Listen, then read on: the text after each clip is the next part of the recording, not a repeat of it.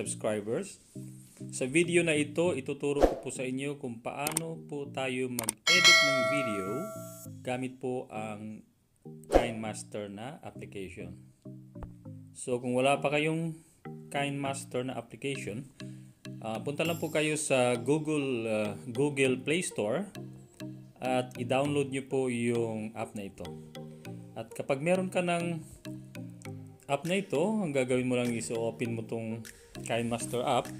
And then i-click nyo po yung gitnang button na may plus icon. And pipiliin po natin yung 16.9 yung nasa left. Okay. Yan na po. And then pag nandyan na tayo sa interface ng app punta kayo sa left corner at i-click nyo po yung parang gear icon.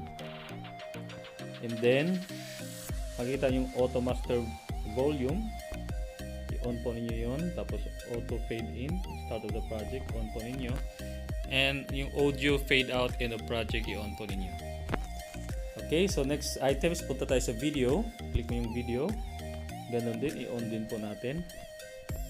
Right and then click nyo po yung check mark sa upper right corner. Okay bumalik na po tayo dito sa interface niya at then, i-add po natin yung mga videos na kailangan natin. Click po yung media icon. Okay, sa right corner, may makita yung media na button. Click po niyan at halapin po natin yung video na dinownload ko. So, hanapin ko po. Alright. Mag, uh, yan. Click ko yung, ano, and then, media ulit. Okay. Itong video na ito yung re-encode para i-resize niya. So yun po nag ano pa siya? Nag re-resize pa siya ng uh, video para ma-fit doon sa screen na pinili natin 16 by 9 pang YouTube na format. Alright? So inaantay natin na matapos yung kanyang re-encoding o reformatting ng video para ma-fit siya sa YouTube video format. Okay, so gaantay pa tayo ng ilang minutes.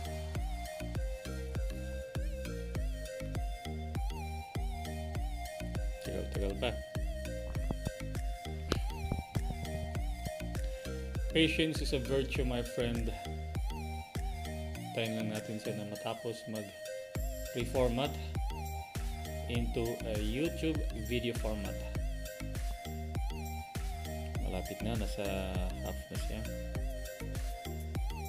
Madali lang po ito gamitin itong KineMaster. Nung nung umpisa akong gamitin ito, medyo nahirapan ako, pero tiyagaan lang hanggang sa na-master ko po siya. So, kung first time niyo pong gamitin itong KineMaster na application, natural po yun na maninibago kayo, marami kayong uh, dapat alamin hanggang sa matutunan nyo rin po. Dito, i-rate ko yung sarili ko sa paggamit ng uh, ng KineMaster nasa intermediate level pa lang po. Hindi pa, wala pa ako doon sa advance. Pero at least alam ko na po yung basic. Yung tinuro ko po sa inyo kanina. Basic po yun. Okay, so malapit na po siya matapos. Patience lang po. Patience is a virtue, my friend. Kasi, pag meron kayong ina, uh, ini-edit na video gamit ang KineMaster tapos hindi uh, iba yung kanyang formatting so kailangan yung i-reformat. So yan po, nailagay na natin. Yan, na-reformat na siya into 16 by 9. Alright, so ngayon, kailangan natin i mag-add tayo ng ibang ano, mag-add pa ako ng media punta ako dito sa aking vlog folder. Ilagay ko po ito. Ayan po. Habaan ko siya. Right so so 3, 4, 5, 6 ayan. Tapos lagyan ko siya ng music dito mag start lagyan ko siya ng music audio. Hanap pa tayo dito ng music as a music asset. yung mga dinadownload kong uh, music from KineMaster na rin yung mga free. Call me DJ. So, yan. Okay. So, yan na po. Ang kanyang i-ano natin kasi mahaba siya.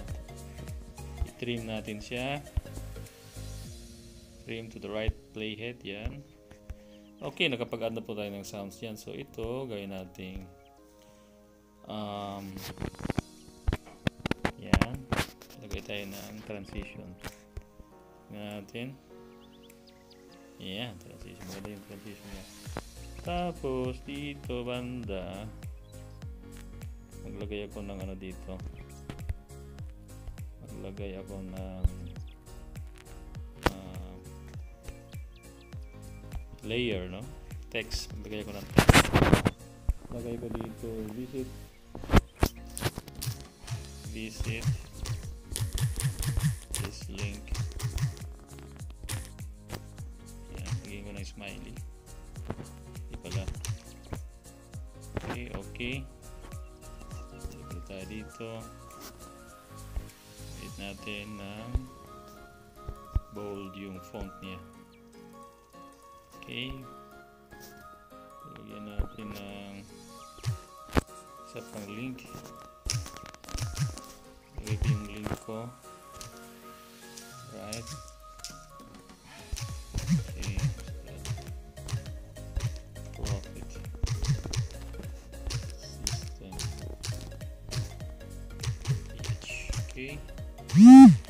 Okay. Yan na po siya. Natin. Yan. Natin siya. Palitan ko ng kulay yellow okay yan po siya konti visit this link. Yan o very good. Tingnan natin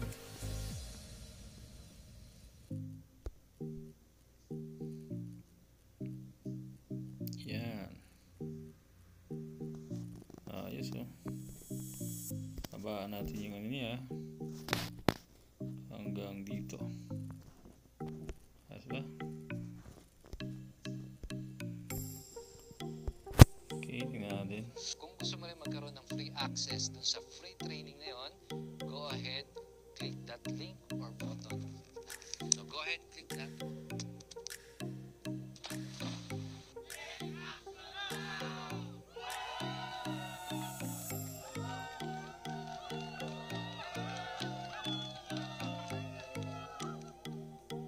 Very good. So ngayon, lalagay tayo dito ng dito banda, maglagay tayo ng layer. Media ulit. Maglagay tayo ng subscribe button. Ito po ang subscribe button natin. Click natin yung chroma key. Ayan. Makita siya. Sa ayan steps kailangan Very good. i-adjust natin siya. Ilagay natin siya dito sa bandang baba. Ayan, dito banda. Ilagay na natin. Sa ilagay banda. Alright i-adjust mo lang. Ayos diba tingnan natin tingnan natin. Dito sa training.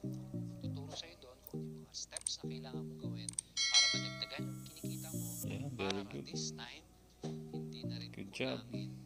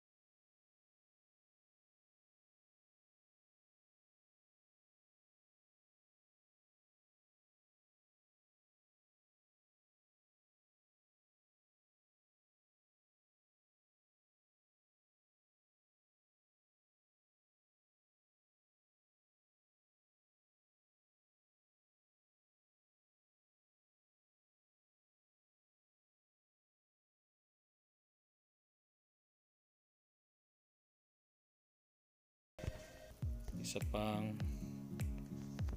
ah, layer media. Lagay tayo ng ito subscribe button ulit. Tapos chroma key. Yan tingnan natin. uh, so ngayon i-adjust natin siya. Kilitan natin. Lagyan natin sa dito yan okay so play natin siya may isang article na pinablish ng Ah. Tumblr.com. Sinabi doon, para ka daw makabuhay ng isang maliit na pamilya, mabigyan sila ng maginhawa at magandang buhay, kailangan yung sinasahod alam ko na dito natin siya ilagay siya ganda dito yan diba maganda siya oh May isang article na pinablish Yeah, ng very good. Tumblr.com. Sinabi good doon, job para ka daw tapos yung pangalan ko saan natin siya ilagay dito natin siya ilagay banda. Right? Okay so tapos i-adjust natin to dito natin siya ilagay. Oops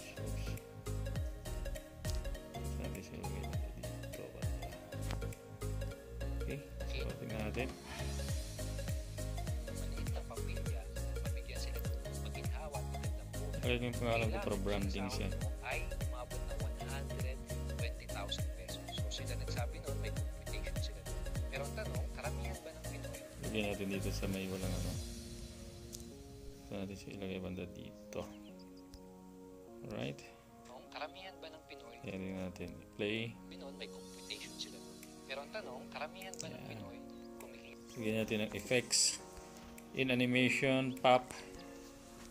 Tapos yung out of animation, fade. So, i-adjust ko yun siya hanggang dito. Yan, adjust natin para lumalabas siya sa buong video. Ito natin siya ilagay.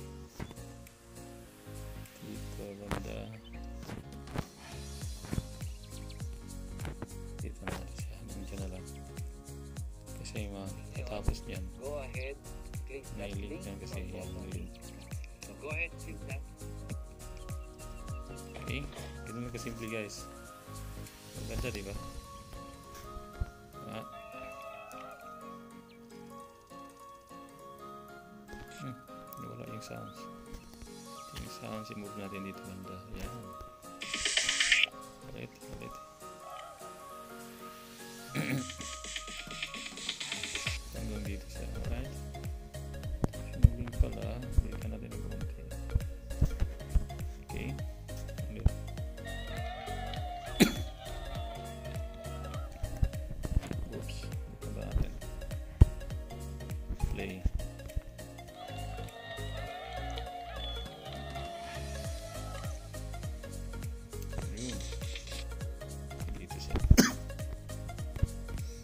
Guys.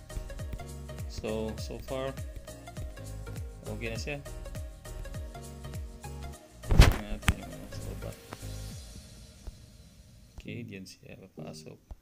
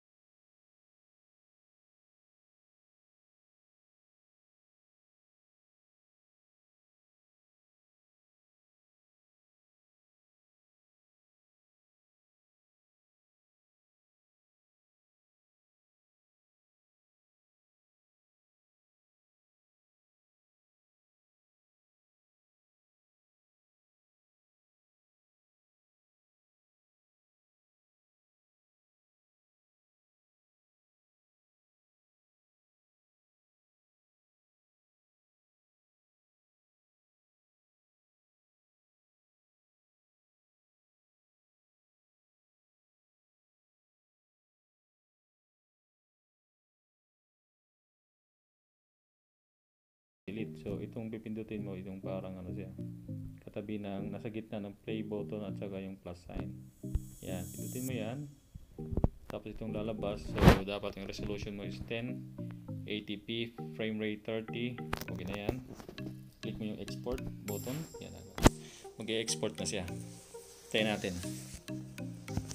Papasok siya sa doon sa folder pagkatapos. Ibig sabihin, exported na siya. Gumagana na yung buong video. So, that is the time na pwede natin siyang i-upload sa YouTube.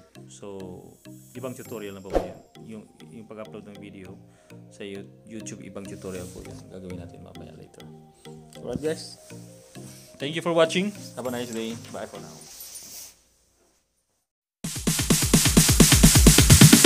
Sorry ass DJ.